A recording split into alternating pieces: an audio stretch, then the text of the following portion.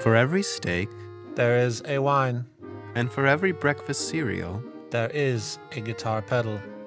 I'm Blake Montgomery, I am Neil Montgomery, and we are the, the Cereal Brothers. For our first tasting, we will be taking a look at the classic cornflake. In 1895, Dr. John Kellogg of Michigan deeply desired to create the most bland and unexciting breakfast food ever imagined. His goal was to curb degenerate behavior. Let the tasting Commence. I would like to personally thank Sweetwater for providing multiple gallons of the world's greatest sweet milk.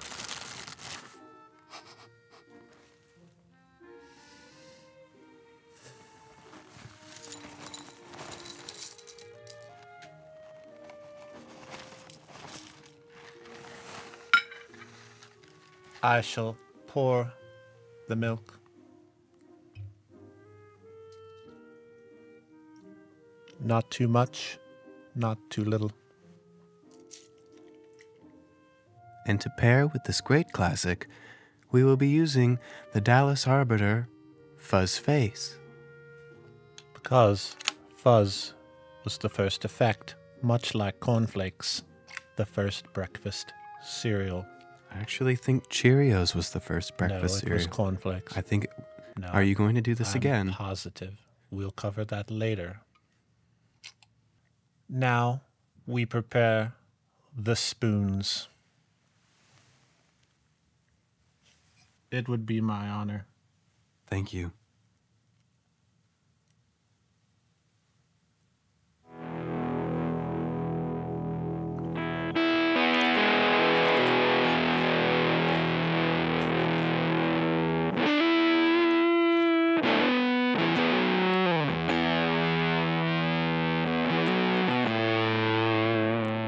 Mildly earthy.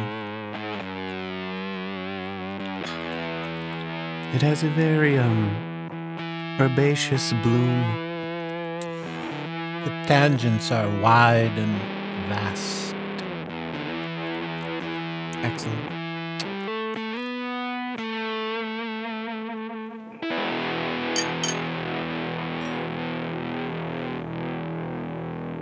Bring forth The bowl.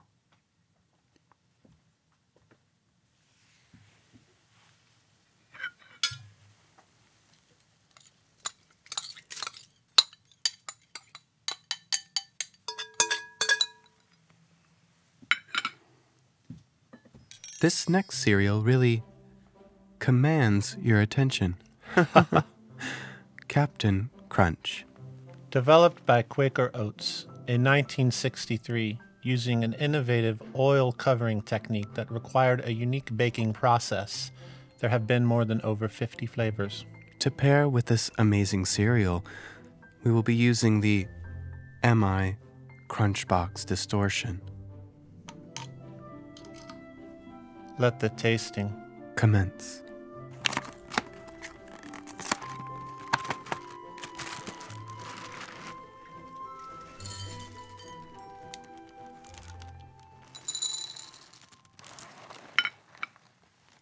May I?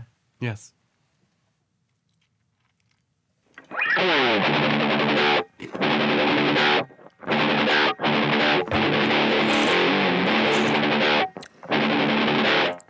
Mature. Smooth finish. Very aggressive plonk.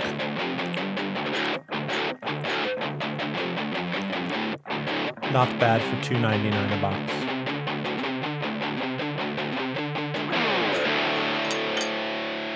Please bring The bowl.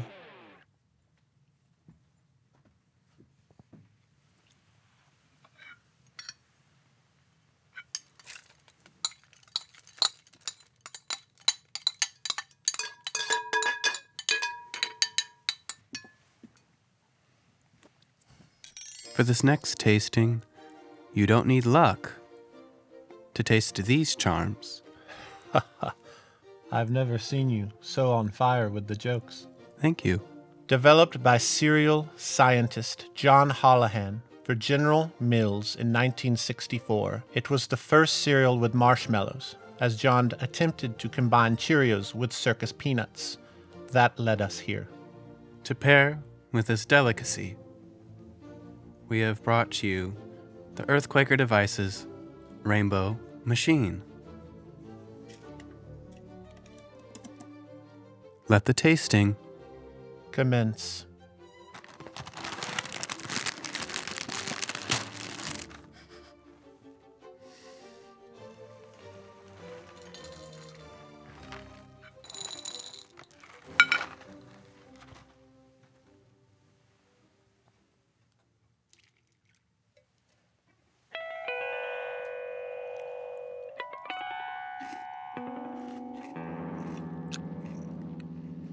Has a very floral bouquet. Extravagant mouthfeel. Hmm. It's kind of wanders. Hints of joy, feels of sadness. Hmm. Agreed.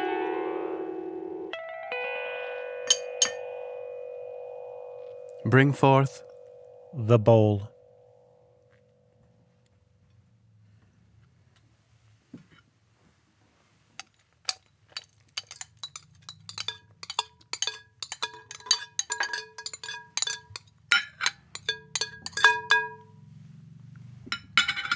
Lowering cholesterol across this nation. We have Cheerios. First released to the public May 1st of 1941 and known as CheeriOats. Only three years later, the name was changed to Cheerios because Quaker Oats claimed to own the name oat. No man can own the name oat, sir. Only God. To pair with this classic, we have the classic Ibanez Tube Screamer. Let the tasting Commence.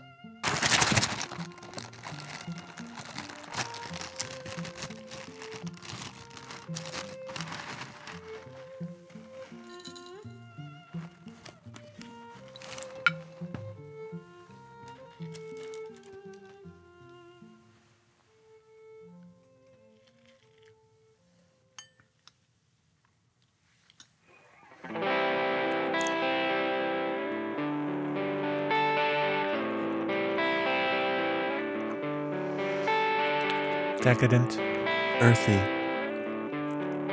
mild, strong possibly perfect. in every way.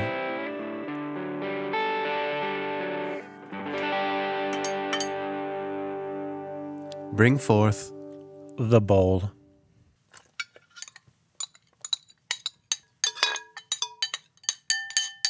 For this next tasting, we have Fiber One. Brought to market worldwide by General Mills in 1984, it contains 57% of your daily fiber intake. That's a lot.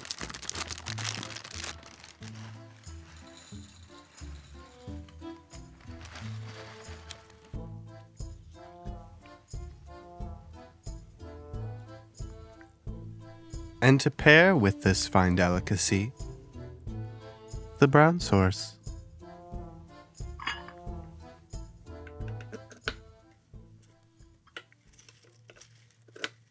Let the tasting Commence.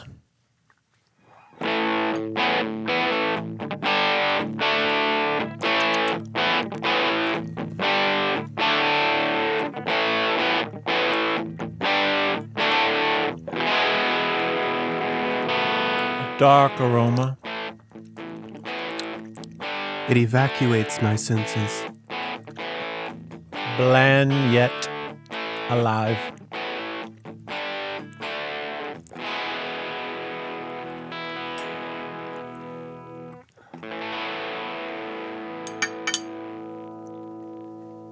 Bring forth The bowl. Really gotta work to dump this out.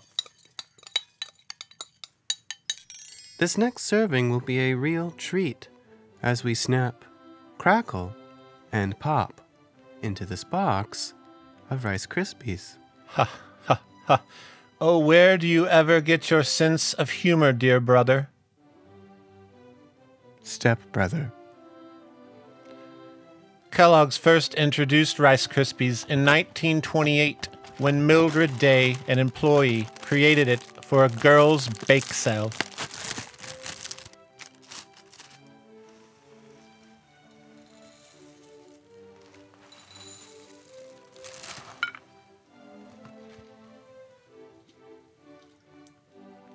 Hear the snap, crackle, and Pop. And to pair with this treat, we have the Zvex SHO Crackle OK. I can hear the gentle snaps as he prepares the pedal. Let the tasting Commence.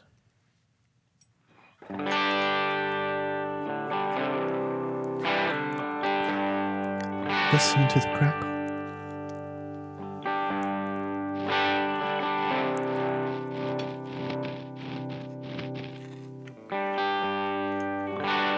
Airy, crisp, dense. Like eating sprites of joy.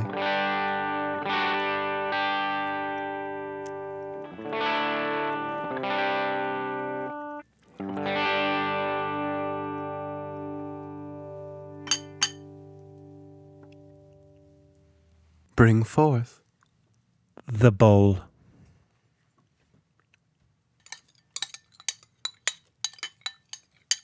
Very sticky, such as rice. You too can. Enjoy this next Kellogg's Delight. Froot Loops. Introduced by Kellogg's in 1963, despite clever marketing over the years, Froot Loops contains no fruit flavoring, and in a startling fact, each individual separately colored loop is in fact the same flavor. To pair with this colorful delicacy, I have the Ditto Looper by TC Electronic.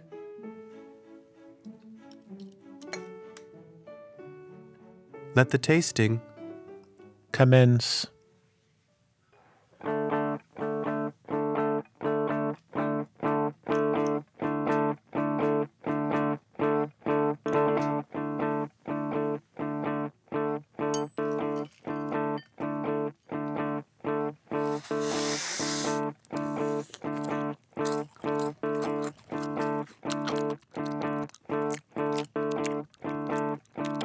Decadent, A bouquet of flavor exploding paragonally.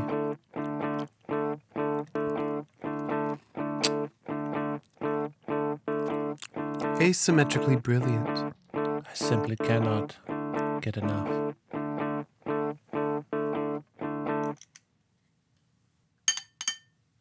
Bring forth the bowl.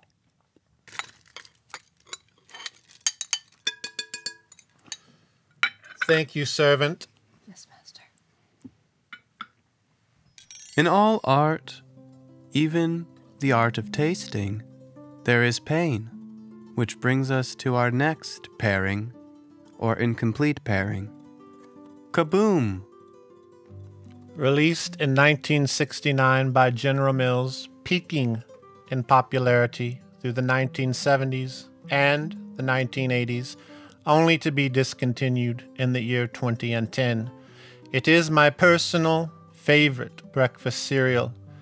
I can remember myself, nine years of age, sitting at a table, enjoying the delicate blossoms of the kabooming flavors that blasted through my soul when I heard the faint whispers of treachery.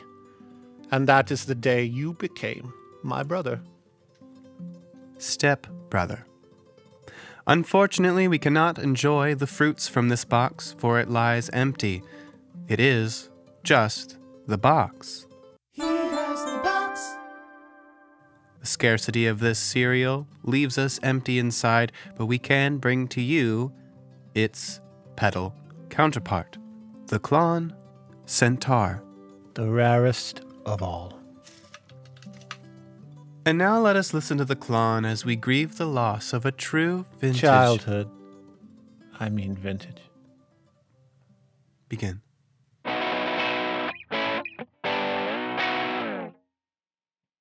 And now, bring forth the bowl for a ceremonial dumping. Of kaboom.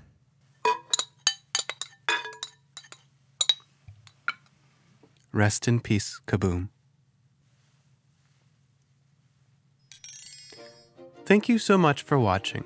And as we always say, taste, Taste life, savor, savor taste. taste. Bring forth. The bowl. We have the Zoom 505 multi effect to pair with our final tasting of the bowl. Within the bowl is every cereal we have tasted. This is the time aged tradition that we proudly share with you, the viewer. And now, the final taste.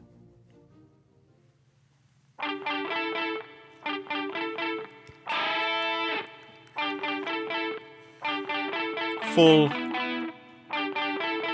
Rich flavorful. and dynamic. I would like to personally thank Sweetwater for their sweet milk and the wonderful pro audio equipment provided to carry our voices more full, more clear, and more robust from our mouth to your ears. We are the, Cereal Cereal Brothers. Brothers. Good night.